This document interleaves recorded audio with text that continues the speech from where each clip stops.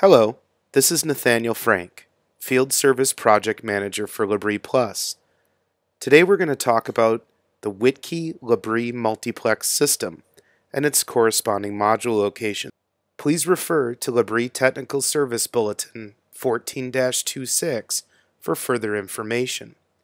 We'll begin by looking at the modules the operator will commonly interface. Inside the cab, there are four modules, three of which are visible to the operator. Module 11, Module 12, and Module 13. And our emergency stop, extend, and retract button for packer operation. Next we'll look at Module 10. Module 10 is the master or brains of the multiplex system. It is located inside the cab in a number of different locations. Those locations are dependent upon chassis manufacturer. Common places to look for this module would be under the driver's side kickwell or atop the doghouse cover. Next we'll move on to our 5060 nodes, or known as our dual module. Opening up the hopper access door allows us to view the modules located underneath the cover mounted on the front bulkhead plate. The cover is retained with three bolts. Remove these bolts and access to the module can be obtained.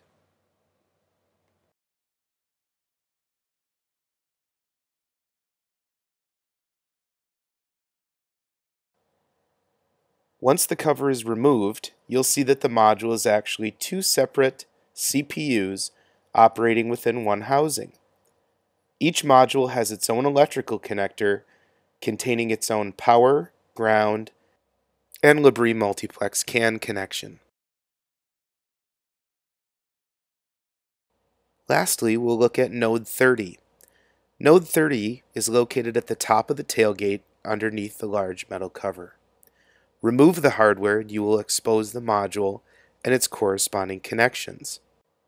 Important points to remember are that modules 10, 11, 12, and 13 will always be located inside the cab. 50 and 60, our dual module, will always be located inside the hopper area, and module 30 will always be located at the top of the tailgate. Thank you for watching this Labrie how-to video.